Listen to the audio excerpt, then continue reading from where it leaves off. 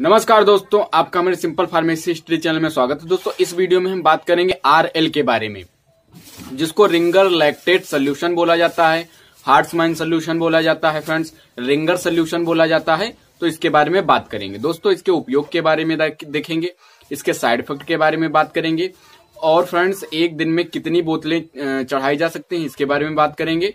दोस्तों myself Dharmendra pharmacist मैं registered pharmacist हूँ। मैं इस चैनल पे आपको मेडिसिन से रिलेटेड जानकारी और फार्मेसी से रिलेटेड इन्फॉर्मेशन देता रहता हूँ दोस्तों, अगर आप हमारे चैनल पर पहली बार देख रहे हैं तो हमारे चैनल को सब्सक्राइब करें, वीडियो अच्छा लगने पर वीडियो को लाइक एंड शेयर करें। तो चलिए, आज का वीडियो स्टार्ट करते हैं। सबसे पहले हम जान लेते हैं, फ्रेंड्स, जो रिंगर लैक्टेट सोल्यूशन होता है, इसमें मुख्य रूप से क्या पाया जाता है। दोस्तों, इसमें सोडियम लैक्टेड होता है सोडियम हाइड्रोक्लोराइड होता है, पोटेशियम हाइड्रोक्लोराइड होता है और दोस्तों, कैल्शियम क्लोराइड होता है और water for injection, sufficient amount.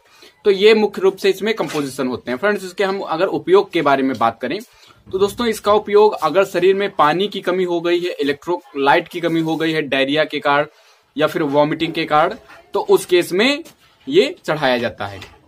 दोस्तों, इसका उपयोग अगर ब्लड प्रेशर कम है मतलब हाइपोटेंशन है तो उस केस में भी इसका उपयोग किया जाता है। दोस्तों अगर एक्सीडेंट होने के बाद में किसी का बहुत ज़्यादा ब्लड लॉस हो गया है तो उस केस में भी इसका उपयोग किया जाता है। दोस्तों इसका उपयोग ट्रॉमा या फिर सर्जरी आ, में भी किया जाता है। और दोस्तों इसका उपयोग मेडिसिन डिलीवर में किया जाता है। कहने का मतलब है इसमें मेडिसिन मिला के चढ़ाई जाती हैं चढ़ाया जाता है दोस्तों ये।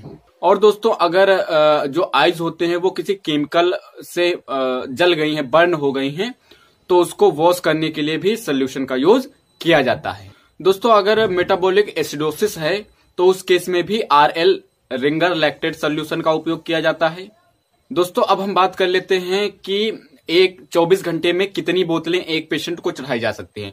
तो दोस्तों, तीन से चार बोतलें 24 घंटे में चढ़ाई जा सकती हैं। अगर हम इसके साइड इफ़ेक्ट के बारे में बात करें तो आपको जहाँ पे ये ड्रिप लगाई जाएगी, वहाँ पे स्वेलिंग हो सकती है और एडिमा हो सकता है। एडिमा एक प्रकार की बीमारी होती है फ्रेंड्स जिसमें फ्लूड रिटेंशन हो जाता है। अगर ऐसा कोई लक्षण आपको दिखाई देता है तो तुरंत अपने डॉक्टर को इन्फॉर्म करें, जिससे आपका फर्दर ट्रीटमेंट हो सके।